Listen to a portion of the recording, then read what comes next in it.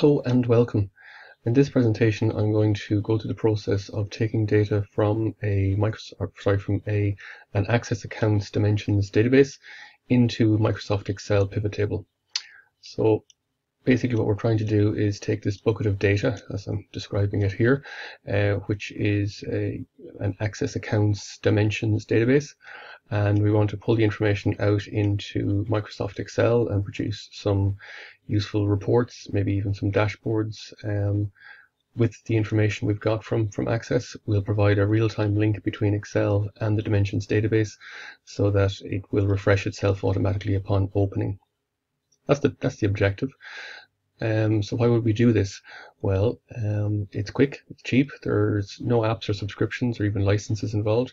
The end user doesn't have to worry about passwords or logins if we choose to set it up that way, and it's quite user friendly for the end user. Um, if you follow the video, you may not need the IT department. If you follow it very closely, you may not even need me. Now, what you will need, however, is a Dimensions database, any version of Microsoft Excel, you may need SQL Server Management Studio, particularly if you're if you're not talking to the IT team. Um, I would recommend though if there's an IT department or an IT person in your company that you collaborate with them on this. They may have a lot of this background knowledge and information already.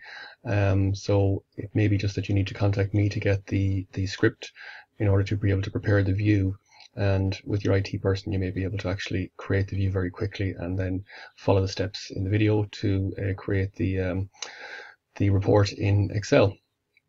So I've said the good. The bad potentially on something like this is that a little bit of background knowledge of your dimensions database is required. You may consider it a little bit technical, so apologies if, if you find it that way. And a, a word of warning, uh, when you produce a report like this for the first time, it may actually end up opening the door for requests for further reports. And with a report like this, if you give people the capacity to analyze or to drill down on their data, it may end up asking or it may end up creating more questions. But I guess more questions, more insight, more knowledge, and perhaps better decision making ultimately.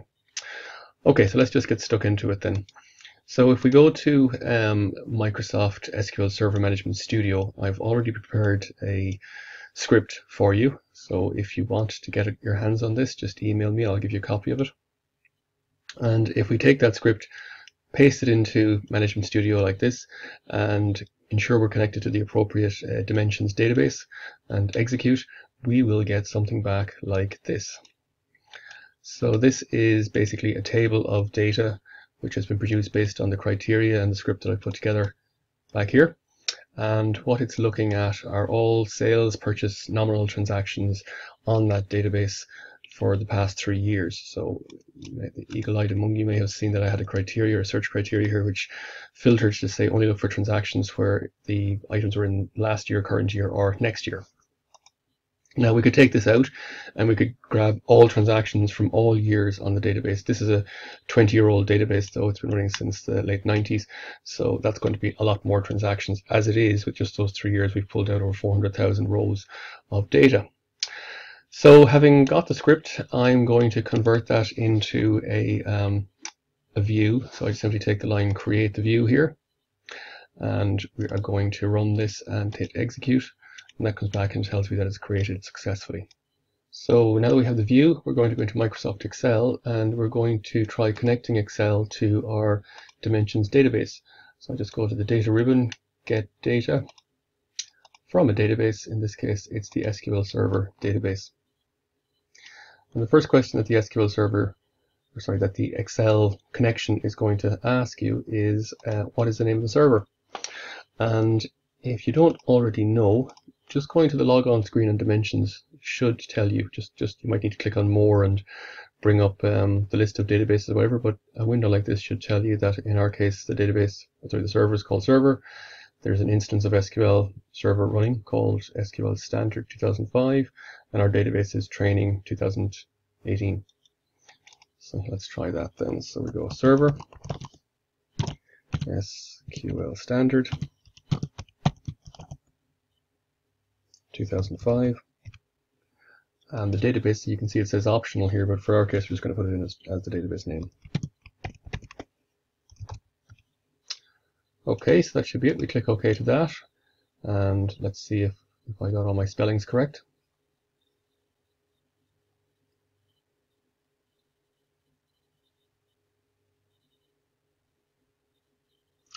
So at this stage, it's connected successfully to the um, SQL Server database, and it's um, already connecting into 2018. There's training 2018. You'll see a whole list, a long, long list of um, tables within that uh, database. Uh, in this instance, for this version of Excel, uh, we get the option, we get a little filter option here. So I just put in the name of my, the first few characters of the, my uh, view. So I've created a view here called GRCT all transactions. You'll see there's still lots of views or other views in there. I can do a quick preview on that. Don't really want to at this stage. Just go to load in load this to a pivot table.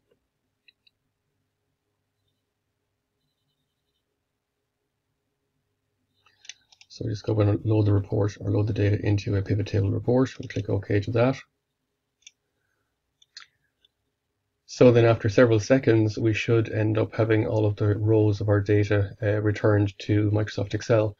Now we don't actually see anything at this stage, we just have uh, the data potentially available to us. What we do have is this um, pivot table interface available here and over on the left or the right sorry we have um, the list of fields within the pivot table or the view that we've created they're listed alphabetically right now so the first thing I would normally do is just come in here on the left hand side right click go to pivot table options and just go to the display and change the field list to sort by the data source order. And that just changes things over here then so that they're sorted in the original sequence in which we created them on the view. That gets us to a point where we actually now have our source data available in Excel and we can begin to write a report. So if we just start by looking at this report based on the customers and if I just isolate for the customer and supplier name it brings out the name and um, code for each customer. And if we look at the values, then we can just pull in the uh, value, which is EUR net in this instance. So then I've sorted the value um, from smallest to uh, largest, and I get lots of negative values coming in here. And the reason for that is the type of data that I'm actually looking at.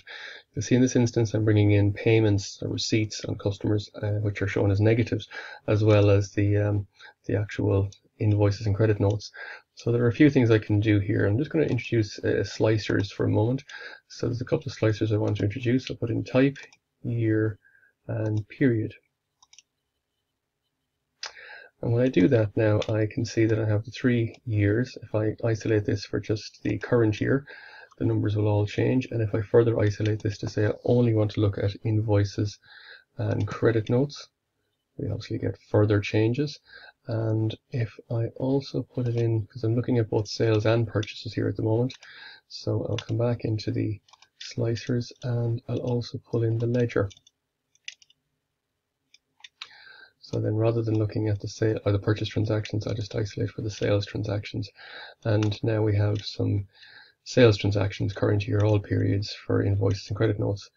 Um, the values, obviously some of the numbers are uh, showing up uh, funny. Um, and if we just change the number format and put it in as a number with the thousand separator, I think we can eliminate the uh, cents for the moment as well. We end up having data that makes a bit more sense to us. And again, if we just sort this by uh, smallest to largest, so we get a large negative value there for, for Kathleen. And if we drill in on that, we'll see that there was a credit note uh, posted to the account. And um, we uh, are happy enough with that. That's fine. If we isolate this for a given period, then we can we can look at the, the, the sales transactions in any one period or range of periods. So um, having done that, then we'll just look at some other options that we have and try to build a decent report. Okay, so I've just uh, made some few changes to the report there. I've put in some additional different slicers that I've made available on the view. So the year is the calendar year and month calendar month, uh, and that's taken from the date of the transactions being posted. I've also got the week number in here just as an example, so we can actually just drop that in, and we're basically now getting an analysis of uh, 2018 month of January, week number one, two, three by sales, rep or account manager, depending on how you want to define each of that. And I'm giving you analysis, uh, as you can see there, by day. So basically, it's just looking at the uh, the sales by rep by day. um, for each week of the of the year. And if we get down as far as September, then we can see we're into week 36 through 39, and again Monday through Friday. See how things are going for each of those. We could isolate for any one rep then as well if we wanted to on that. Uh, we can uh, come in here and say we want to isolate for a particular salesperson, and that just um, so we just actually focus on Claire for a second, see how she is doing each week, for example. We put in additional slicers if we want, or we can put in filters. So that's just a very brief um, synopsis. The prim primary objective here was to get the data from um, Dimensions into Excel. If we go about saving this down now, we can just go to the properties and we can have it so that we can refresh this data as soon as we open the Excel file. We could take it a step further by going into the uh, the definition and actually telling the system that we want to do things like save the password. And that would have the effect then that whenever this file is open it'll automatically go off and refresh itself with the latest data from dimensions. So it's it's bang up to the second. We can also look at uh, using the analyze tool to perhaps put in some pivot charts for example. So if we wanted to do that uh, it will allow us to actually put in our chart just we have columns or, or lines or whatever. So we just go with the simple chart there, we can actually then see how um, how that information looks for us and see how everyone is doing. Uh, we're just isolating there for Claire at the moment by week. Um, got to be careful in what level of data you're looking at and just how much information you want to see as well. So if we just actually take out the week for a moment, we just have uh, Claire's analysis Monday through Friday. We don't need that level. And then if we want to get back in all of the reps here, we get to see how everyone is doing uh, for the month of September. And again, maybe no harm if we just put the day back in there for a second, just to see how how the week pans out, and we get to actually see, you know, where the trends are and uh, who's doing what level of business on each of the days.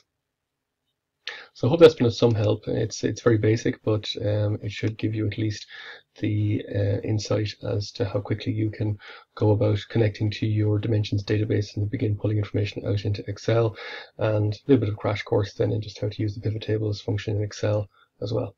If you have any information, or sorry, if you have any questions, please feel free to contact me. Um, if you want the view, email me and I'll send it back to you. Um, and uh, if you liked this one, please uh, give it a thumbs up and leave a comment if, if you if you if you like more videos of this type. Um, and uh, I'm always open to suggestions for future videos. Thanks.